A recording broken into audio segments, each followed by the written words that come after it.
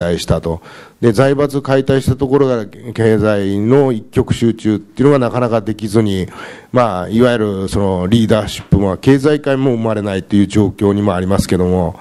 で、あとは、その、あのー、まあ、今の宮中に起こってるですね、例えばその女性宮家の問題、あるいは女女系天皇の問題ですね。で、これも元はといえばですね、GHQ がその皇室、あの、皇族の方々が11家いて、11家の宮家を全部親戚公開一方的にしてしまったからなんですね。で、GHQ に文句言わずに女性宮家作れとかですね、で、女系にしろとか、あの、私から言わせると、保守の人こそ勝手なことをですね、どんどん言ってると。で、まずすべきは、その GHQ が行った政策を全部我々見直して、で、それをその一つ一つ日本人のためになるかどうか、日本の後世のためになるかどうかをチェックしなければいけない。で、それをまずやってから、一つ一つ今出る、あの、政策をですね、えー、考えていくべきであって、えー、元はといえば、なんでおかしくなってしまったかっていう原点をですね、あの、我々は取り戻さないといつまで経っても同じことを繰り返すだけであります。ですから、あの、我々はこう、いろいろ、あの、欲しそうで考えるんですけど、水宮社長なんかは、えー、いわゆるその、まあ、東京裁判士官っていうものが悪いんだと。で、東京裁判の映画をお作りになったという経緯がございましたけども、で、私から言わせていただくと、マスコミも、あの、いわゆる、あの、非常に不思議なことなんですけどね、あの、例えばその、読売新聞社っていう新聞社がありましたけど、ありますけども、で、読売新聞社は、まあ、鍋常さんっていう人が、今も主筆をやっておられると。で、その、あの、もともと共産党ですよね、渡辺恒夫さん。で、渡辺恒夫さんが共産党と同時に、まあ、その上の勝力松太郎さんっていう人は、まあ、アメリカの、えー、スパイだったって言われてる人でもありますね。で、いわゆるその渡辺さんと勝力さんっていうのは戦後 GHQ の指令通りにマスコミを動かしてきた。あるいはその朝日新聞も同じであります。あの、今を生き残ってるですね、新聞社のほとんどっていうのは GHQ の言う通りに、えー、頭を投げ、撫でられてですね、やって残ってきてるメディアが残って、残った。NHK もそうであります。で、そういうとこが今の韓流ブームだのなんだのっていうですね、すごくおかしなことになってるのは、もともとその GHQ に気になれようとしたと。で、その元の精神をやってるから今の国民に受けなくなってると。あるいは間違ったことをやってるという現状が66年間、要するに歪みが完全にここに来てですね、出てきてしまってると。で、そういう現状をあの、まあ、マスコミの人が自戒を持って、あるいは反省をして、元に戻ってくれればいいんですけど、私から言わせると全然そうなってなくてですね、まあ、あの、原発の問題ではちょっと象徴的だったのがですね、まあ、アメリカのその GHQ の言う通りにやってきた、あの、のがこの原発の原子力政策っていうやつで、あの、第一原発のその1号機から5号機は、全部 G、あの、ジェネラルエレエレクトリック社っていうですね、あの、会社の製造したものですよね。で、それと、例えば読売新聞が原子力政策を、えー、推進してきたっていうのは、完全にこれも気を一にするっていうか、あの、同じ方向にあったわけですね。で、アメリカ、つまりですね、アメリカの言った通りやればいいんだと。で、アメリカの GHQ の言った通りにやればいいんだって言ったところの歪みが、あの、原子力政策だけじゃなくて、日本の社会のあらゆるところにも広がって、はっきり言って私から言わせていただきますと、収集がつかなくなりつつあると。で、ここらでなんとか手を打たなければですね、あの、はっきり言って、あの、私よく、あの、自分の家族を含めて、えー、自分の友達とかも含めて言うんですけども、えー、自分のその孫やですね、えー、子供、あるいはもう子供の時代かもしれない。そういう人たちから、あの、ボロクソ言われる時代が必ず来ますよと、えー、いうふうに申し上げて、あの、いろんな話をしております。で、っていうのはやっぱり、あの、どう考えても日本を守るシステムじゃ、やっぱり今のその制度自体がないんですよね。で、憲法もそうですけども、あの、要するに自分のことだけを守れと。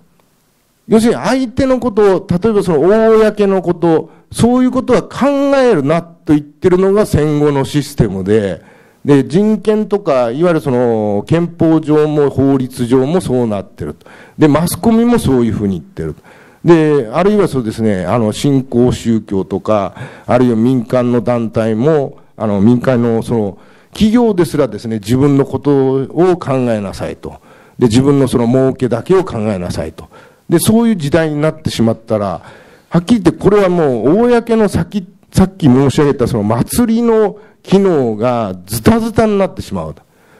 えー、みんなで協力して、みんなでいい社会、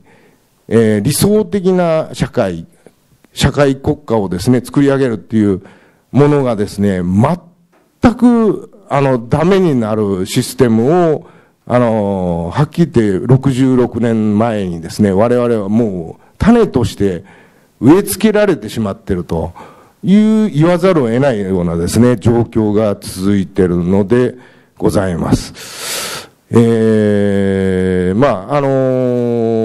ー、憲法改正についてはいろいろあるんですが、今ちょっと参考資料としてですね、3枚目にちょっと、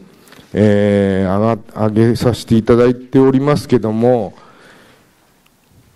えー、例えばあの憲法改正というのはなかなか難しいと言われてるんですが、あの、もう、はっきり言って時代に合わないなっていうのは、あの、私ですらですね、こういう、あの、いくつかパッと見ただけで気づく点がありましてですね、で、いわゆるその、まず、憲法の一条で天皇の地位は国民統合の象徴として書かれてますけども、えー、要するに国民の統合の象徴というだけにするとですね、今の、あの、例えば週刊誌報道もそうですけども、あの、天皇陛下と皇族のことをいくらでも批判できると。象徴だから批判していいんでしょうっていうふうに彼らは言うわけですね。で、要はその、全然陛下に対する敬いとかそういうことが全く、あの、駆け落ちてしまってると。これはあの、はっきり言って、私が言わせると、もうマスコミの人にはいくらでも言ってますけど、あの、皇室だどころか天皇制度自体もなくなるよと。で、亡くなった原因はマスコミにあるからねっていうことをもう、あの、週刊誌の人とかにも申し上げております。非常に危ない状況です。えー、このまま批判していくとすればですね、みんな、あの、皇族に、あの、女性宮家って言いますけど、女性宮家から、その皇族になりたがる人も、はっきり言って出てきません。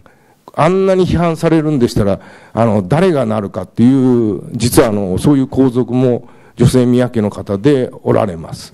で、そういう、あの、現状がまずある。だから、要はその国民、国家の模範とかですね、象徴だけじゃなくて、いわゆる何らかのさっき言った鏡にしなければいけないっていうものを、もう一条から付け加えなきゃいけない。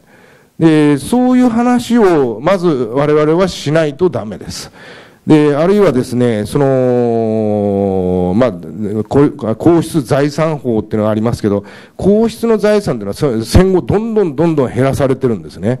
で、いわゆる、あの、皇室の財産というのはほとんど宮内庁の管理する財産であって、えー、天皇陛下が持ってってる、持たれてる、その、私的なの財産というのはほとんどありません。ゼロに近いです。で、そういうものが分かってなくて、要するにその、八条では、えー、まあ、財産、えー、を、その、受受することができると、えー、いうふうにありますけども、で、これも、やはり、あの、変えなきゃいけない。で、まあ、球場は、あの、ご承知の通りですね。で、尖閣諸島の問題とか起こるのは、要するに陸海空軍その他の戦力はこれを保持しないと書いてるからであってですね、これをその保持していい場合をちゃんと明記すると。えー、いわゆる外敵の侵入とかですね、少なくともその辺、そのぐらい内乱を鎮圧するとか、いわゆるその、まあさっき言った払うですね、えー、外敵を払っていくっていうことに関しては認めるべきだという話は、ここは絶対入れなきゃいけない。えー、あと基本的人権、先ほどの人権の問題につきましては、人権人権と言ってるうちに本当に人権が誰のための人権なのかが分かんなくなってきてるわけですね。で、はっきり言って、あの、同和の人権団体とか、いわゆるその、ね、ジェンダーフリーの人たちが自分のその利権を取るためにやってるんではないかっていうための人権なのかと思うぐらいの人権の乱用ぶりになってると。えー、まあ、あの、この11条っていうのも私も必ず変えなきゃいけないと思っております。で、で、もともとその GHQ、えー、マッカーサーはじめですですね、あの、ホイットニーとかケイジスとか民生局の人たちが、まあ、憲法の改正を、あの、草案を作って行っておるんですけども、えー、もともと、あの、私が聞いてる話では、憲法そのものっていうのは、あの、まあ、天皇陛下の条項1条2条ですね、それを残す代わりにですね、で、他のはどうやったっていいという、勝手に松本、まあ、松本案って試案っていうのがあって、松本試案を、あの、いわゆるマッカーサーが脅迫をして、で、それで変えさせたものなんですね。で、要するに外国人が勝手に日本人を脅迫して作ったものっていうのは、普通刑法でも何でも脅迫下に置かれた法律っていうのは、そういうものが残ってること自体が私から言わせると、言わせていただくとおかしい。えー、いわゆるそういうマッカーサーの脅迫下に置かれた、えー、法律、あるいはそういう監禁状態に置かれた、そういう国民が、未だに国民によるその憲法を作れてないっていうのは、やっぱり皆さん、こう、おかしいと、あの、思いませんでしょうか？私は本当にこれはおかしいと思います。外外国人が、あの、一方的に脅迫をして、その国の法律を作ったら、どこの国の国民でも起こる話だと思います。私はアメリカ人とかそういうのにはっきり言っております。あの、あなたたちは日本人を脅して憲法を作ったと。だから、日本人は日本人で、憲法を作りたいと必ず言います。で、そうすると彼らはどうぞ作ってくれと言うんですけどもですね。で、問題は日本人がこういうことを知らずに、いつの間にかなんとなく受け入れてしまってるっていうところに、あの、最大の問題があるのであ、あの、なかろうかというふうに考えておりまして、で、その端的な例が、何人も18憲法18条のいかなる奴隷的拘束も受けないって書いてありますけども、あの、はっきり言って奴隷的拘束を受けたのは GHQ からであってですね、私から言わせると、過去のこういう浸透的社会が繰り広げられた日本においては、あの、はっきり言って奴隷なんかいなかったんです。全くいないにもかかわらずですね、あの、GHQ が勝手に奴隷的拘束を受けないと。で、お前らが、GHQ が、えー、奴隷的拘束を日本人に対してしたのであって、えー、日本にはそういう状況は実はなかったんです。で、それを奴隷的拘束という名前を自分たちの、あの、やったことをすり替えて、えー、そういう状況に日本人は置くものだと。文明的に非常に低い民族であるというふうに置くためにこの奴隷っていう言葉を置いたと。えー、そういうこともですね、まあ、あの、教師の方々とかですね、そういう日本のリーダー、特に政治家はですね、これからどんどん教えていかなければ、日本ははっきり言って持たないのでありましてですね、で、あるいはそのジェンダーフリーに対しても私は同じだと思ってまして、えー、家族のあの役割とか個人の両性の平等っていうのは、私はその本質的平等に立脚しっていうもの自体は、あの、平等だとは思いますけども、やはりあの家族の役割と協力によって成り立つというようなですね、例えばその日本社会に合うような家族のあり方、あるいはその両性、まあ男性と女性のあり方がないと、基本的にはやはりやっていけないのではないかという気がいたしております。というのが、やはり先ほど申し上げた、日本はもともと役割社会であって、それぞれの役割があって、男も女もいいところがあって、役割社会があると。で、そういう話を、あの、一度やはり、どういう形にしろ日本人は見直さないと、あの、このままでは個人個人で男は男、女は女で勝手にやればいいじゃないっていう話では、はっきり言って持ちません。というのが、要するに子供に対して親も子もバラバラにやってたら、同じいいところ、両方の教えっていうのを子供に教えられなくなっていくわけですね。どうしてもその、例えば離婚をしたりですね、個人でやってると、要するにどっちかの教えしか伝わらないと。で、これはやはりまずいのでありまして、で、社会的にも、やはりあの、単なる平等だけではない日本の、あの、かかつてのいい、あの、あり方、みたいなものとして憲法にそこを入れてもらうと。と、まあ、こういうのは例え話ではありますけども、あの、深刻な問題として、やはりその日本人の孤立化、皆さんもバラバラだっていう、あの、意識はどこかお持ちだとは思いますけども、やはりそこは何とかしなければ日本人のその精神性、我々が考えてきたことが過去の、あの、将来のですね、子孫に伝わらないかもしれないという危機意識っていうものはですね、少なくとも、あの、日本人であれば持つべきではないかと私自身は考えます。で、まあ、だからどうすればいいかっていう話の方が、あの、皆さん建設的だと思いますので、まあ、一回ちょっと2枚目の、あの、ページに戻っていただくとしてですね、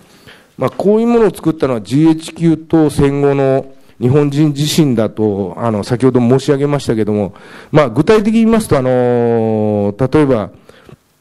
労働組合であったりですね、そういう過去の、えー、まあ、いわゆるその戦後、レジームって言われてる人たちのですね、あの、あの、いわゆる既得権益、戦後、初めて既得権益を持ったという、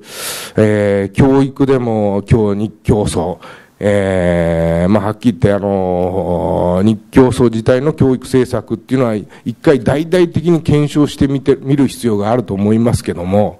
えー、そういった人がですね、これから、えー、どういうふうに、こう、まあ、あのちゃんとですね、あのまあ、治っていく人は治っていって構わないと思いますけども、どうしても治れないという人は、まあ、例えばその橋本府知事みたいなですね、あ、府知事、あの市長ですね、のやり方で、あの人ですらやっぱり国旗形容、要するにあの市役所職員を前にですね、あるいはその先生を前に国旗ぐらい形容しろと。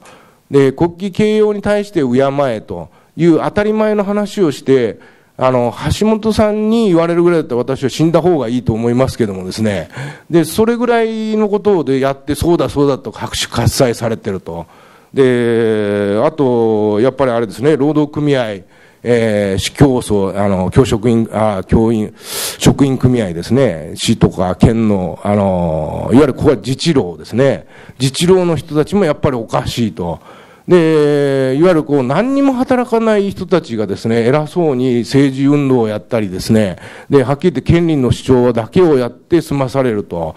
いう時代はもうはっきり言って私から言わせていただくと完全に終わりました。で、そういう人が生きてるから何の尊敬も受けないしですね、これからあの、孫の時代になった時、子供の時代になった時、この人たちは何で生きてたの何のために生きてたのと、あの、必ず言われます。で、それを、あの、橋本さんが言ってるだけの話で、あのはっきり言ってあの人に言われなくても、皆さん薄々とはやはり感じておられるわけなんですよね。で、そういう方が、まともな方がですね、これからたくさん出てきて、まあ、いろんなことを私は言って、あの、行かれればいいと、あの、思いますけどもですね、大事なのがやはり、その、先ほどの、忘れていただけなければありがたいんですけども、その祭りの精神、いわゆる日本人が日本人によるみんなの協力で物事を動かし、みんなで話し合っていいも理想の状態に持っていく姿が日本人の祭りごとという姿でございます。で、それがまあ神社の中で生きてですね、で、あるいはその、この、例えばその、護衛霊を祀る、あの、大事なものを盾祭りですね。で、そういう方が、あの、年に一度か、まあ、あるいは、その、遺族の方のところには、始終いらっしゃるという感覚、えー、あるいはそういう考え方。まあ、これは魂、えー、の考え方ですけども、で、そういう方が、実際にですね、いらっしゃるっていうのは、これどういうことかというと、まあ、単純素朴な話、感謝と祈りっていうものがあるということなんですね。で、日本人にはもともと、あの、最近感謝をしたり、祈り、祈ったりっていう人がいなくなったと言われてますけど、単純素朴なところで感謝と祈りっていうのは、セットとしてあったんですね。で、もともと何かに対して祈ると。祈る前に日本人は必ず感謝をする民族だと言われています。で、それは神社でもそうで、神社の教えっていうのは、祈る前にまず感謝をしなさいと。で、感謝をすることによって、祈りの力が発揮されるという教えが神社のほとんどの教えにあります。で、そういう、あの、感謝と祈りを結びつけることによって、伝統の精神性は生まれると。先祖に対してありがたいと。ありがたいから、あの、祈らせてくださいと。えー、これこれ、かくかしかじかをお願いしたいと。で、いう話がセットになってるんでありましてですね、ここが伝統の精神で一番大事なところであります。これを戦後の保守は、保守精神っていうのを忘れてきた。えー、あるいはですね、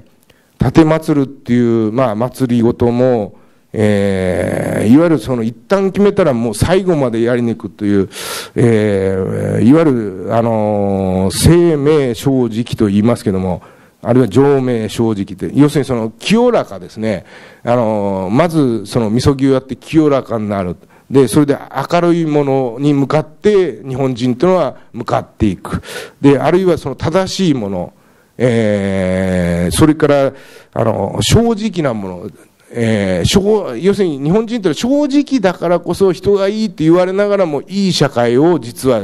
これまで実現してきたんですね。で、日本人はお人よしだとかいろいろ確かに言われますけども、でもそれは私から見ればすごくいいところだった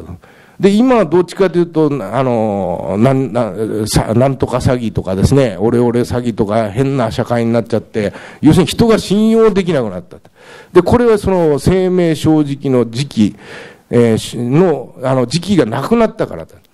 で、こういう精神性というのはもともと神道の中に実はありまして、これこそが日本社会を成り立たせてきた大きな要素だった。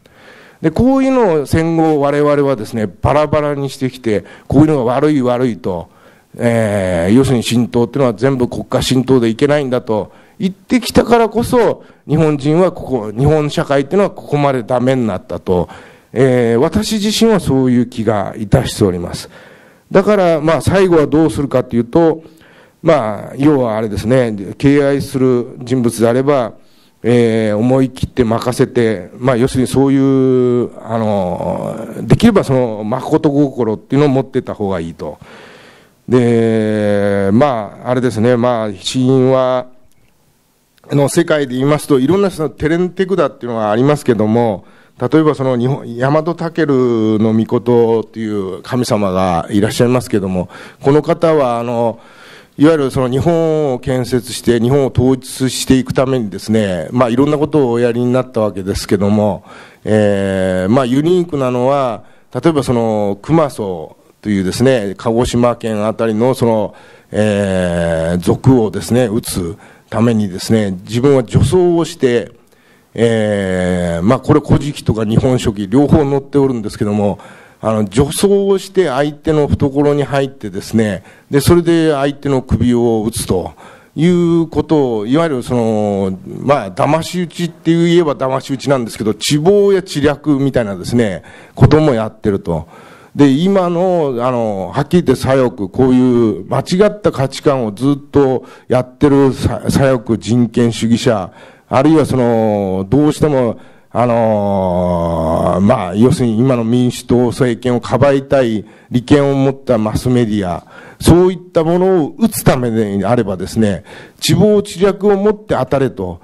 日本神は、まあ来年ちょうど、あの、古事記が1300年になりますけどもですね、で、日本古事記やですね、日本書紀はそういうふうに言ってる。